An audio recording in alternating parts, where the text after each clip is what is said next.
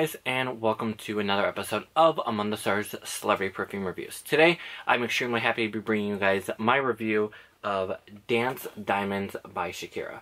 This perfume came out this year, 2017, and is the second dance fragrance by Shakira, um, which was a whole new pillar that was started by her last year. Um, the box looks like this, and it says Dance, Shakira, and then Diamonds down here. On the bottom, it says Eau de Toilette Natural Spray 80 milliliters, 2.7 fluid ounces. Um, it's kind of got this gradient design to it, and it's also kind of uh, holographic almost. Size of the box are both the same. On the back, we have an ad of Shakira uh, with this kind of uh, jewelry dangling off of her um, and kind of like a sequined top.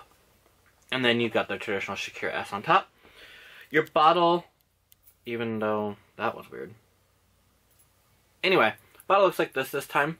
And it is a frosted blue glass, and then you have these, like, um, almost, if I can get this to focus on it, that would be wonderful. You got these kind of like teardrops right here that want to flow around and not do what I want them to do. Anyway, um, but it's the same bottle design that we got last year with the first dance, which looks like this. Maybe. These necklaces are interesting, just tell you first off. Um, same bottle design, same bottle shape, all that fun jazz. It's just this one is now frosted and has these diamonds on it, while the old one didn't. This one is very, very different um, from anything that Shakira has done, but at the same time, it's still in that same family, if that makes sense. With this one, you get top notes of bergamot, raspberry accord, and pink pepper. Middle notes are freesia, orange blossom, peony, and violet leaf, with base notes of sandalwood, amber, and musk. Um, and I'm not a huge fan of this one. I will tell you that straight off the bat. But I don't hate it. Um, and the only reason I'm not a huge fan of it, because it's in that kind of like clean category that I'm not a huge fan of. Um, but even then, there's some notes in it that I, I do like with making it a little bit better for me. So when you first spray it, definitely you're getting that pink pepper and the bergamot. Um, they're definitely the more prominent notes of this fragrance, and they're really kind of stand out there. The raspberry um, that's in here, it's weird. Because when I wore this a couple times, it almost, the raspberry almost smelled like Crystal Light, which is really weird and I don't understand it, but it wasn't like super smacking. It was just kind of like this weird synthetic raspberry note that was kind of there the entire time. Um, but it's definitely very bergamoty and very pink peppery when it first opens, but it's very, very, very aquatic. So this fragrance, initially when it first was kind of like announced or leaked or whatever, was supposed to be called Dance Under the Rain. I don't know why they changed the name, but I wish they would have kept it because I do really like Dance Under the Rain and it does fit this fragrance really well because it is extremely aquatic, extremely clean, it's very fresh. Um, it's a very strong fragrance and like how it projects and like when people smell it, but the composition of the fragrance is very light. So it's very airy, um, but strong in like the scent of it, if that makes sense. Um, as it starts to dry down though, that heart is definitely where you're getting a lot of these notes. You're definitely getting the freesia, the orange blossom, and the violet leaf. The the peony's there. And it's a little bit different in this fragrance than it's done in other fragrances, but it's not completely out there.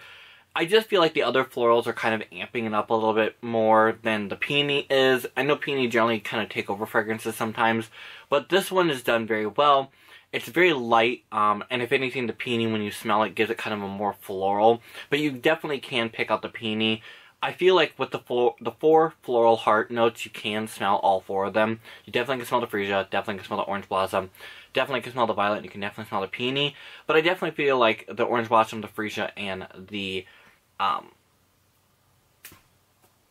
Leaf, I don't know why I couldn't think of that, um, are definitely more prominent than the peony is. As it starts to dry down, though, I'm definitely getting more sandalwood and a little bit of musk than I am the amber. The amber lightly warms up the base of the fragrance um, and kind of gives it a good base, if that makes sense. Um, but you're really getting more sandalwood and musk than you are getting that.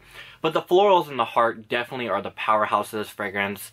Um, in my opinion, it is definitely her more, most mature floral fragrance. Not saying it's super mature at all, but it's out of the florals that she has done, this is definitely on the more mature side. Um, lasting power, I got about 8 hours of lasting power on it, which is kind of normal for Shakira's fragrances. Um, they last a long time for them being eau de toilette, and that's just because they're created in such a great way.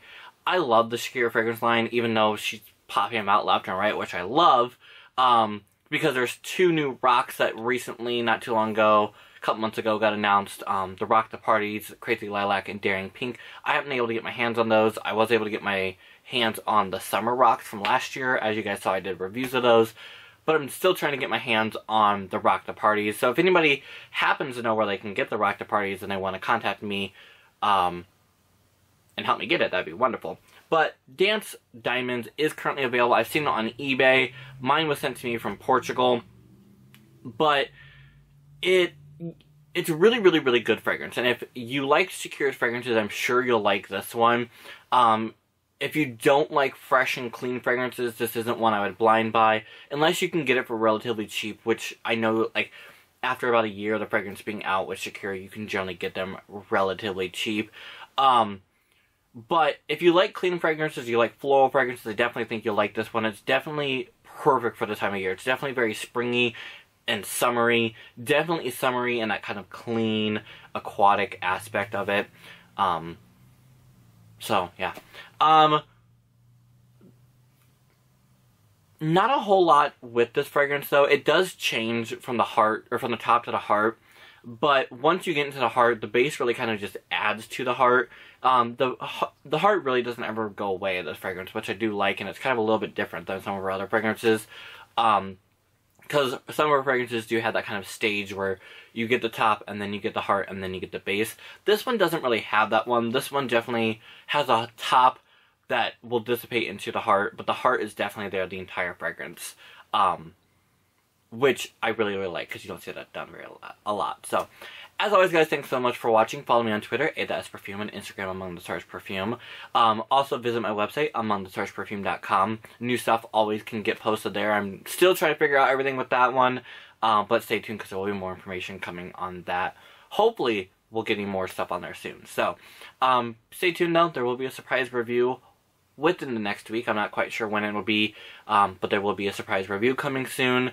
Um, I've also got some other tricks up my sleeve for you guys that I can't wait to share with you guys. So, as always, guys, thanks so much for watching. Follow, or I already did that part. Anyway, as always, thanks so much for watching. Bye.